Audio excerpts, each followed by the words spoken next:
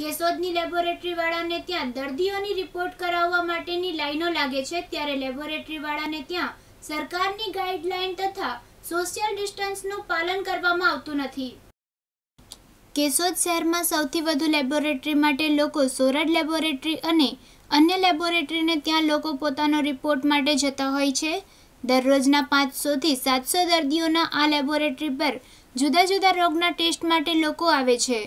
ત્યારે અહીં લેબોરેટરીવાળા તરફથી લોકોને સેનિટાઇઝિંગ કરાવાતું નથી કે નથી કોઈ સરકારી ગાઈડલાઈનનું પાલન કરાવાતું, જેને લઈ લોકો સોશિયલ ડિસ્ટન્સ રાખ્યા વગર એકબીજાને અડીને કલાકો સુધી લાઇનમાં ઊભા રહેતા હોય છે.